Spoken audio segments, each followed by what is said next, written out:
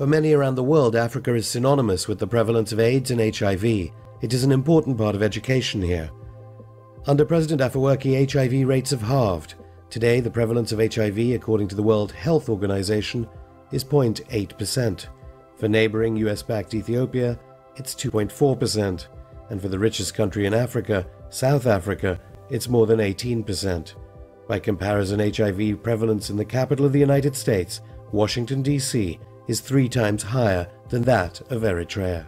There is uh, HIV spread in Eritrea, but uh, the percentage is very low, as low as 1%. And Western doctors are wondering why, when uh, all your surrounding countries are much higher rates. What may surprise some viewers is that such successes in Eritrea have been accomplished without international charities or NGOs. Helping people is not bad at all as an idea, but using this uh, pretext and using the organizations created in that environment for their own ends is what makes it uh, uh, unacceptable to, to, to, anyone. But for us, it's not a matter of whether we like or not like uh, NGOs or humanitarian activities.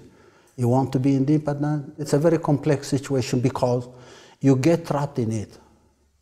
We've gone through this process because uh, it's food aid coming and the population is deprived of even working. They will be waiting for handouts. Waiting for handouts for years cripples uh, uh, communities. And once communities are crippled, they are so dependent, it becomes uh, uh, an addiction.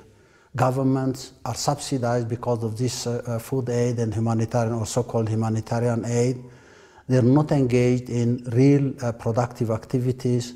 They don't mobilize their own population. It's slavery, it's, uh, it's, uh, it's uh, poverty, it's famine. You're sometimes being used for their PR exercises. People are, are brainwashed and manipulated to believe things that are not true, that are not for real. Finally, when crises like this come up, what do politicians do? they think they can still continue manipulate opinion, opinions in, in, in the street. Again, without NGOs, we would see a network of brand new hospitals and medical centers throughout the country, from the highlands of the capital right down to the Red Sea coast. We went again, unannounced, to one of Eritrea's many free hospitals to see for ourselves why healthcare statistics in the country are such a source of optimism. According to the World Health Organization, life expectancy in Eritrea is 66.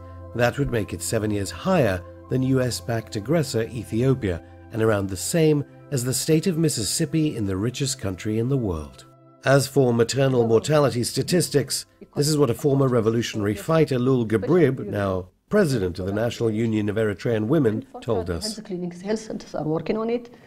If it was 1,000 women of maternal mortality from 100,000 in 1995. Now it has gone to 450, which is one of the best achieved in the African uh, continent, especially in the sub-Saharan African countries.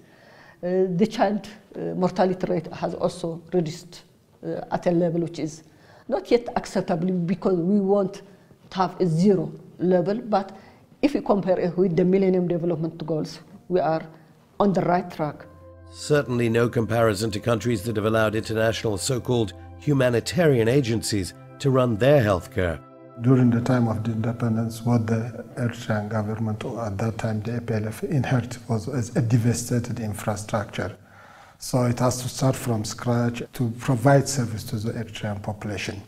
So the first thing that was conducted was to formulate a national health policy. You see, some governments would immediately invite Western agencies in to dictate the way the health system worked, as in so many African countries after independence. No, no, because I think we, we have a different experience, even during the liberation, the war for the liberation of the country. Infrastructural development has been key to the development of Eritrea in the 21st century. Do we need aid?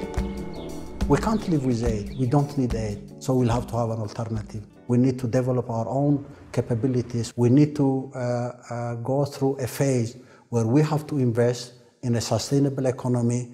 We've made our choice from day one.